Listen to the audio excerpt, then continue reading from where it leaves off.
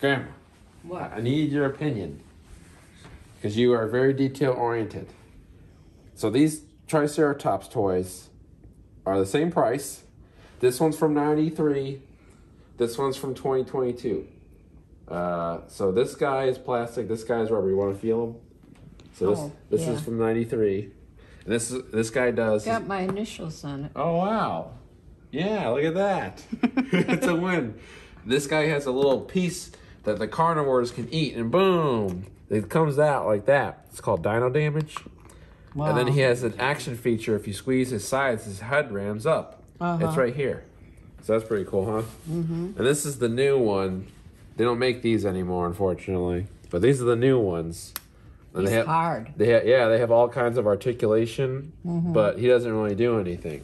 But there's a great amount of detail on him. Which one, art wise, do you think is cooler as a toy? That one. This one? Why is that? Because it's bigger. It's bigger. Mm-hmm. Do you like the? Also, a kid could knock his eye out in that. yeah, because this is soft. And this, well, this is kind of hard too. this is not good. It's like the Red Ryder from uh, Yeah. from a Christmas story. You can poke an eye out with one of those. Yeah. You think you like the skin that feels like a little animal? Yeah. This one doesn't feel good. No, and this this is kind of softer. Yeah, it's a lot softer. This is like hard. This is 08, it says.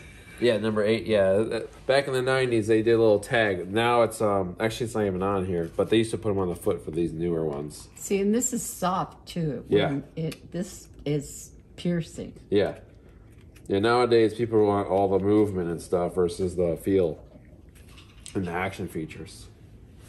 I'm surprised this piece comes off. Yeah, pretty cool, huh? They don't do that really anymore. But I like Grandma uh, reviews the Triceratops toys. That's cool. It's the bigger one. That would probably go over big on like on YouTube. Like